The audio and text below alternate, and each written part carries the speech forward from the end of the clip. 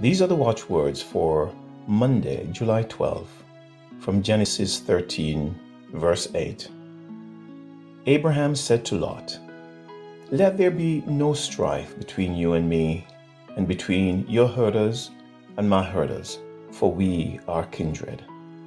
Abraham said to Lot, Let there be no strife between you and me, and between your herders and my herders, for we are kindred.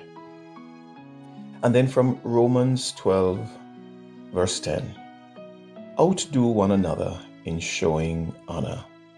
Outdo one another in showing honor.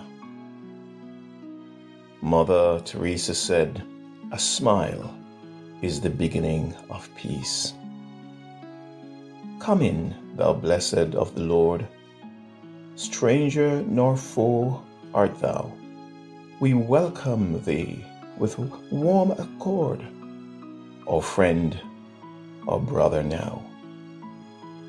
Heavenly Father, give us the will to pursue the things that make for peace, to overcome dissension, and to live in charity. We pray in Jesus' name. Amen.